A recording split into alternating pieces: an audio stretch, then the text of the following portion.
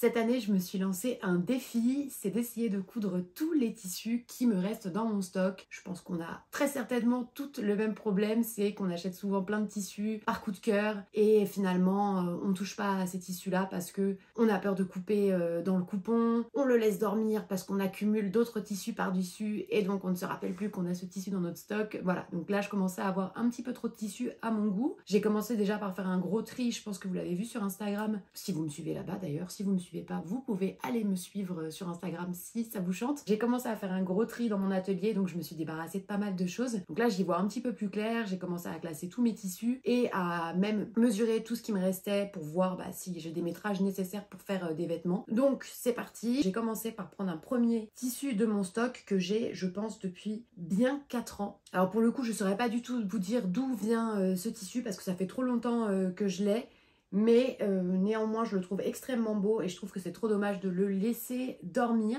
J'ai choisi de réaliser la blouse Laura. La blouse Laura, si vous ne la connaissez pas, je vous la mets en incrustation juste ici. C'est un des premiers, c'est même le premier patron que j'ai lancé euh, sur ma boutique. C'est un patron qui est complètement adapté si vous voulez débuter la couture. Il est vraiment fait pour vous accompagner sur vos premiers pas en couture. Ici, je vais vous proposer une modification parce que j'aime bien euh, modifier mes propres patrons. On va simplement aller chercher une manche beaucoup plus longue que celle qui est prévue dans la blouse Laura. La blouse Laura, la manche, elle est euh, au niveau à peu près euh, du coude. Et moi, je vais vraiment faire une manche longue.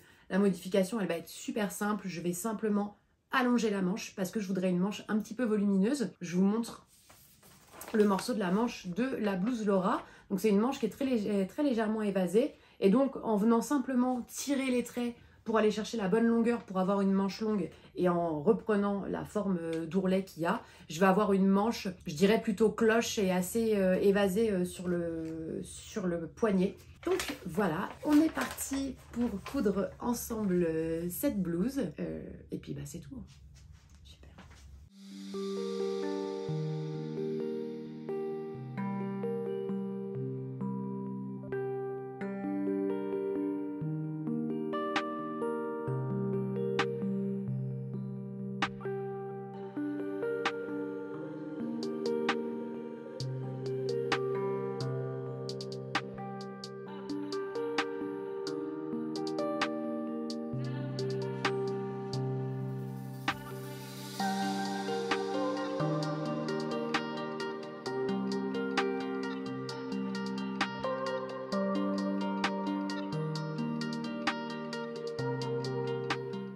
J'ai découpé le devant et le dos de la blouse Laura. J'ai rajouté 5 cm.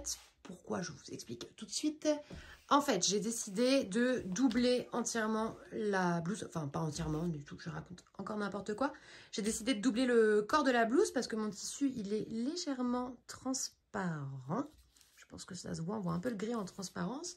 Comme j'ai bien rangé mon atelier, j'avais un petit coupon de tissu où j'ai bien noté 70 cm dont la couleur se marie très très bien avec euh, le tissu que j'ai décidé d'utiliser en tissu principal. Donc je vais découper le devant et le dos dans ce tissu-là aussi pour le doubler entièrement. Et donc, on en revient à nos moutons. J'ai rallongé donc la blouse parce que je ne veux pas que la doublure soit apparente au niveau de l'ourlet.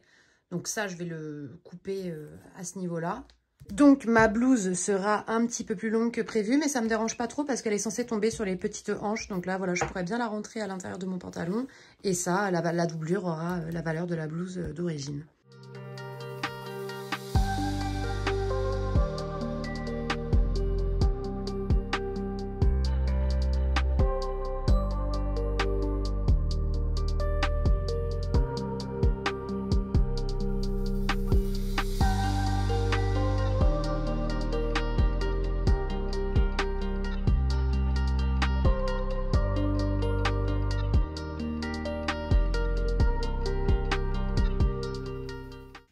Donc les pinces de la blouse Laura, que ce soit pour le tissu principal et pour la doublure. Je ne les ai pas encore repassées. Et en fait, ce que je vais faire, c'est que je vais venir couper la marge de couture. Euh, couper la marge de couture, n'importe quoi. Couper la pince pour laisser environ un centimètre d'un côté et un centimètre de l'autre. Je vais couper comme ça et je vais aplatir euh, la marge de couture de même pour le tissu principal et ce pour ne pas avoir de surépaisseur. Parce que si je place comme ça devrait être au final tissu principal et doublure euh, l'un par-dessus l'autre, en fait, à ce niveau-là, si je laisse euh, le, tissu de ma pince, je vais avoir une épaisseur qui se crée et qui va être assez disgracieuse au porté, alors que de faire c'est de la technique où on ouvre la marge de couture de la pince, ça va permettre d'aplatir cette partie-là et d'avoir un rendu qui, je l'espère, sera un peu plus joli. On se retrouve tout de suite pour faire ça.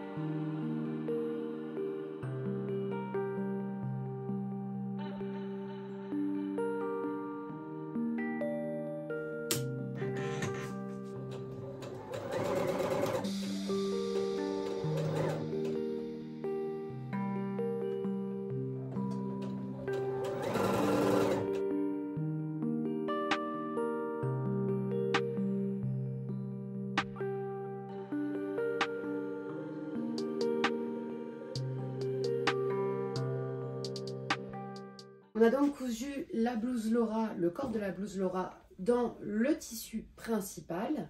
Et ensuite, la même chose en plus court dans le tissu doublure. Ce que vous allez faire, c'est que vous allez garder votre tissu principal endroit visible vers vous. Vous prenez votre morceau de doublure, votre tissu doublure, vous le mettez à l'envers. Donc là, vous avez, vous avez l'envers visible vers vous et vous allez faire rentrer votre tissu principal à l'intérieur de votre doublure. De sorte à ce que vous vous retrouviez finalement endroit contre endroit, tissu principal et doublure. on fait tout rentrer à l'intérieur. On se retrouve comme ça et maintenant vous allez venir épingler toute votre encolure euh, et votre décolleté dos et venir coudre à 1 cm.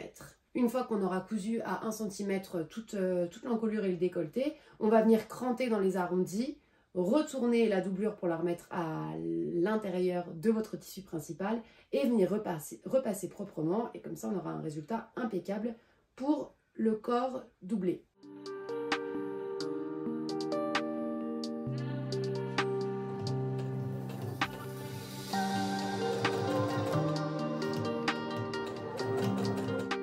Pour faire quelque chose de vraiment impeccable, on va faire une sous-piqûre.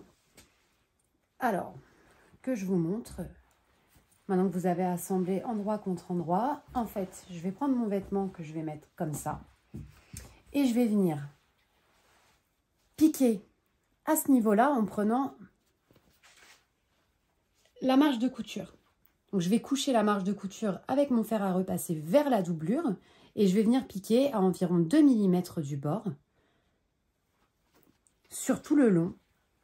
Et l'effet que ça fera, c'est que ça, maintiendra pardon, la doublure bien en place à l'intérieur du tissu principal. Vous n'aurez pas euh, la doublure qui va ressortir euh, à n'importe quel moment de votre journée. Vous pouvez aussi faire une surpiqûre. Donc là, ce sera une piqûre qui serait visible sur l'endroit. C'est-à-dire vous remettez votre vêtement complètement à l'endroit, vous repassez bien et vous venez piquer sur le tissu principal à 2 mm. Mais pour le coup, je n'ai pas envie d'avoir de piqûre visible au niveau de l'encolure. Donc, je prends la solution de la sous-piqûre.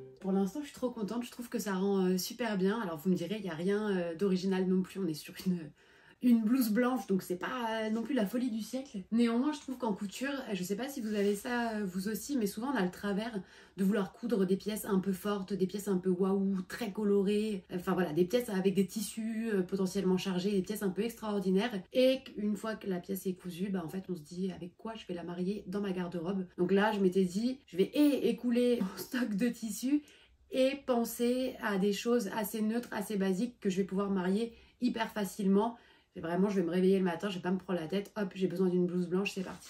Du coup, je prends vraiment le temps euh, de m'appliquer sur toutes les finitions parce que c'est une blouse que j'ai envie de garder longtemps parce que le tissu est vraiment très beau. Vraiment, je sais pas pourquoi j'ai oublié ce tissu-là dans mon stock. Donc là, le corps de la blouse est fini. Je vais m'attaquer aux manches et ce que je vais faire, comme le tissu est légèrement transparent, je vais faire des coutures anglaises. Comme ça, on n'aura pas de surjet visible à l'intérieur. La couture anglaise, si vous ne savez pas ce que c'est, je crois que j'ai mis un tutoriel dans mes shorts sur YouTube. Tout du moins, j'ai forcément mis un tuto sur la couture anglaise euh, très certainement sur Instagram. Bref, je vous retrouverai le lien euh, si jamais ça vous intéresse et je vous mettrai ça en barre de description. Puis ben, on va passer euh, aux coutures anglaises. Ensuite, j'aurai plus qu'à monter les manches au corps de la blouse et faire les euh, ourlets des manches et euh, du bas de la blouse et ce sera terminé.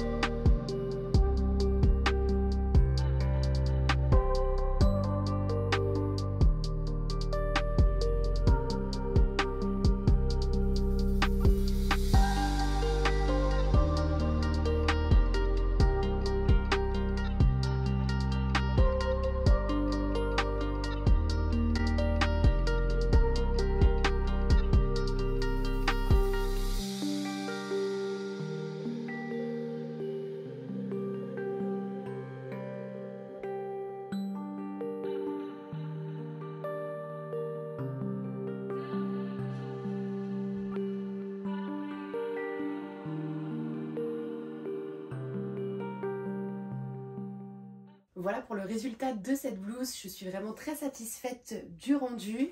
Je me tâte à peut-être raccourcir un tout petit peu les manches, mais pour l'instant je suis très contente comme ça. Voilà, je la trouve très belle, elle est très euh, très bien finie. Enfin, je me suis bien appliquée du coup pour bien, la, pour bien la finir. Je vais vous mettre euh, juste à côté une petite fiche récapitulative de toutes les modifications que j'ai apportées pour réaliser le hack de la blouse Laura. Je vous rappelle que vous pouvez retrouver le patron au format PDF de la blouse Laura sur ma boutique www. Et donc pour réaliser ce hack de la blouse Laura, vous allez rallonger les manches de la longueur souhaitée en tirant simplement les traits. Ici, j'ai rallongé de 30 cm. Vous allez découper le buste de la blouse dans un tissu doublure, le devant et le dos. Vous allez rallonger le buste de la blouse dans le tissu principal de 5 cm pour le devant et pour le dos. Vous allez doubler la blouse en sous-piquant, en cousant endroit contre endroit la doublure et le tissu principal au niveau de l'encolure et en venant sous-piquer ensuite l'encolure afin que la doublure reste bien à l'intérieur de votre vêtement. Vous réalisez des coutures anglaises pour les côtés des manches et enfin vous finissez au biais l'emmanchure pour avoir une finition impeccable. J'espère que ce tutoriel vous aura plu, n'hésitez pas à me dire en commentaire ce que vous pensez de cette blouse et je vous dis à bientôt pour une prochaine vidéo couture.